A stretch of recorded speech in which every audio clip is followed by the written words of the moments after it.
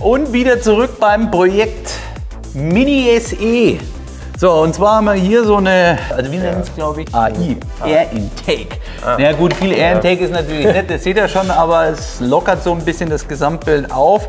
Und wir haben uns ja gedacht, wenn das Auto eh schon schwer ist wie die Sau, dann machen wir es noch schwerer und kleben noch ein bisschen Plastik dran. So, in diesem Sinne, hier einmal Rahmen. Also ich wollte ihn schon wegnehmen, mal kurz Probe gehalten. Also der scheint bzw. ist so zu positionieren. Genau, und dann nehmen wir uns da mal kurz so ein Klebeband bitte, Stimmt, dass wir die Position noch die- mal markieren können.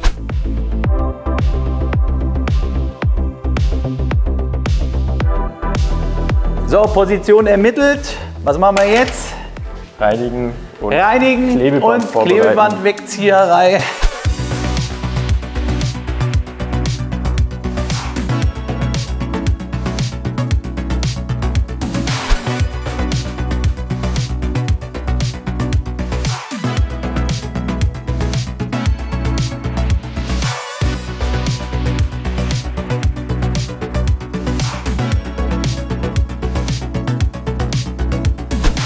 So, also für alle, die zu hart ins Fitnessstudio gehen, ne, lasst den Kotflügel heile.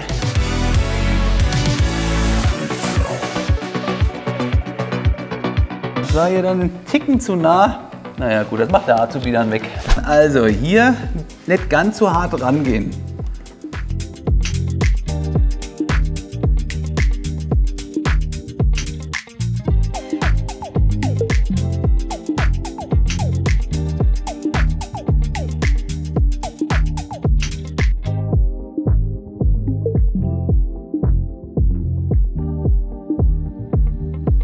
Meine, will jetzt nicht angeben, ne? aber unser Schwarz ist geiler wie das hier von Mini. Ja? Ein bisschen ausgelutscht, obwohl das Auto gar nicht alt ist. Ne?